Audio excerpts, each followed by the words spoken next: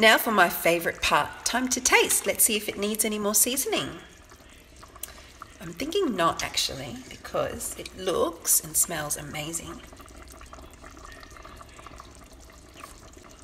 Mmm, perfecto, beautiful.